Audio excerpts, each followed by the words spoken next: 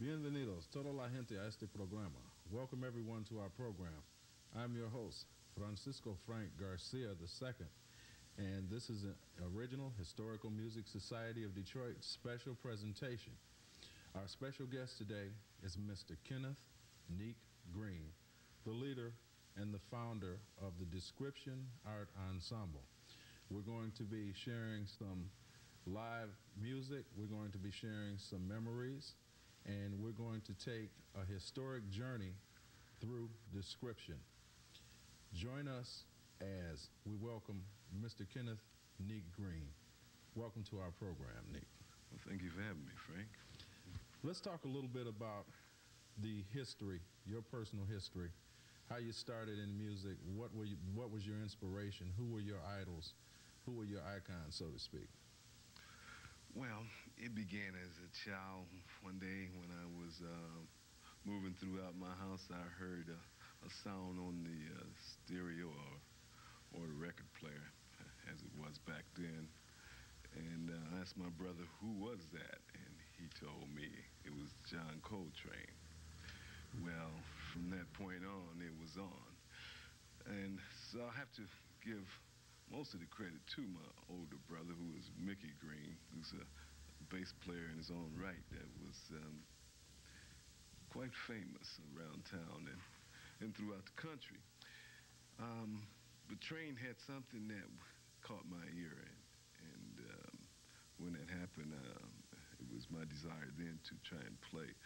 At that time, the saxophone, however, um, our parents would hear none of that, because that meant buying one, you know. And so, uh, since my family was rather large, it was I had four siblings.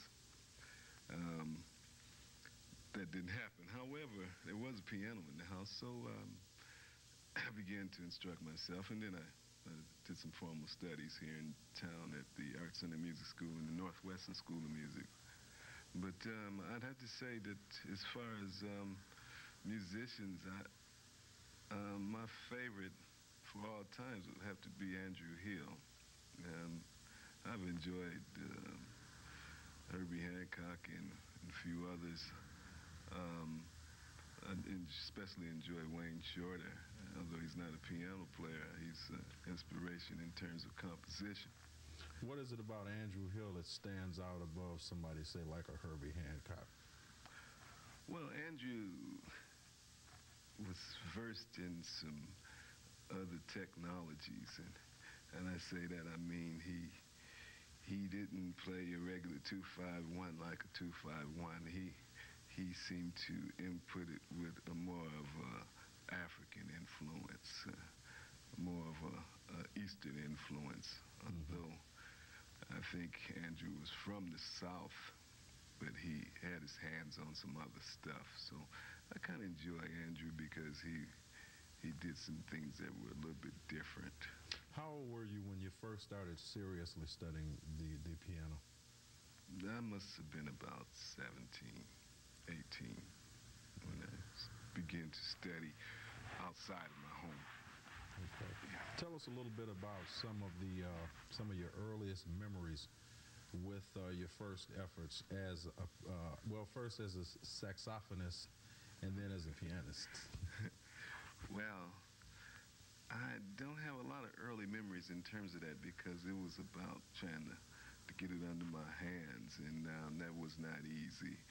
Um, I do recall um, when I went away to school, um, I went to a place that was void of any black music, so it necessitated that we had to make our own. And um, so I started a, a little group. Turned out to be quite successful.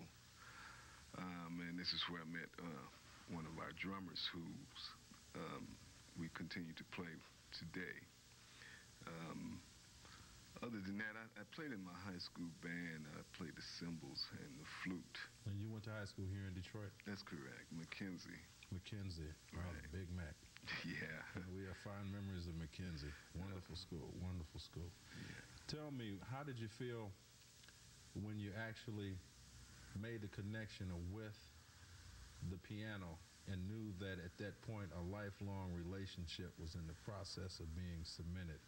And that was just the very first step into being able to branch off in all directions, if you will. Well, strangely enough, Frank, I didn't make that connection till about 20 years later.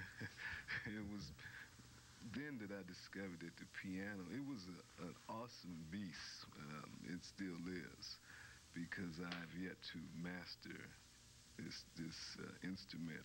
However, it's it's very clear that um, physically the piano holds um, a great deal of the music that we we are, uh, can hear and that we are familiar with. Um, in other words, the ranges are so as such that um, the piano encompasses most of the ranges.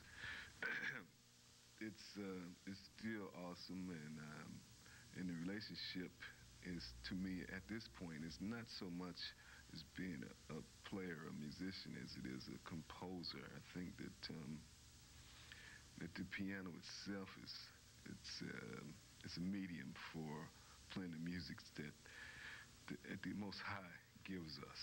Uh, I mean, I'm under the impression, and I, I understand this now that each day that we arise and awaken, there's um, um, massive amounts of, of musical notes and inflections being poured down from the heavens.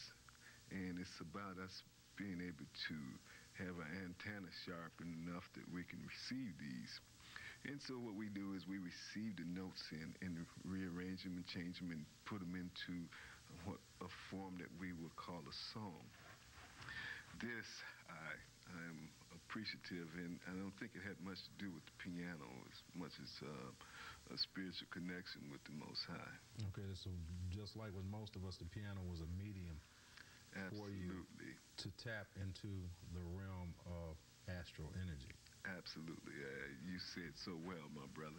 Tell me about who was in the, who was the first personnel in the very first group that you formed. The first was it known as Description from the beginning? No, in fact, we were um, not up on names and, and understanding that the name holds the key to the activity. So um, we kind of allowed our audience to name the band, and then they named it the Neks Jazz Band. Neks Jazz Band. But uh, the first personnel was uh, Dushun Mosley, who's a drummer now who plays with the Eight Bold Souls in Chicago. Um, it was a, uh, a well-received and recorded group. Um, he played the drums. Um, we had a bass player who had three strings on his bass. His name was Craig Fielder, and Craig has gone on since then to become a, um, a rock star in his own right. Um, we also had uh, uh, Skeeter C.R. Shelton, a tenor saxophonist who continue to play today, and he's here in Detroit, so we still get together and play.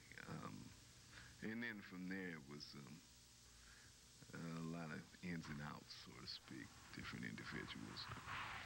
Any musical project that attracts those out of curiosity, those out of wonderment, those out of a sense of wanting or needing to belong to a certain idiom of music, especially that's being created from the ground up. Let's um, tell us a little bit about this clip that we're getting ready to see. The name of the tune, I believe, is called Gratitude. Yeah, well, Gratitude is, um, is a composition that um, I wrote. Um, it was, well, the centerpiece of the project, Gratitude.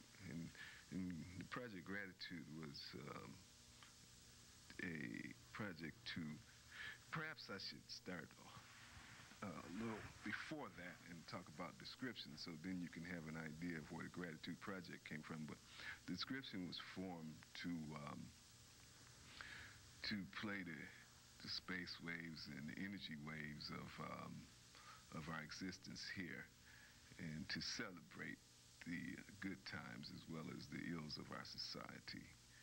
So when we do this through um, creative writing, creative dance and creative music. Uh, the music is is what we might call organic, uh, creative music. Um, and we also have um, artists and poets. So it's, it's, it grew to be quite a production. But it was necessary so that we could get the message out.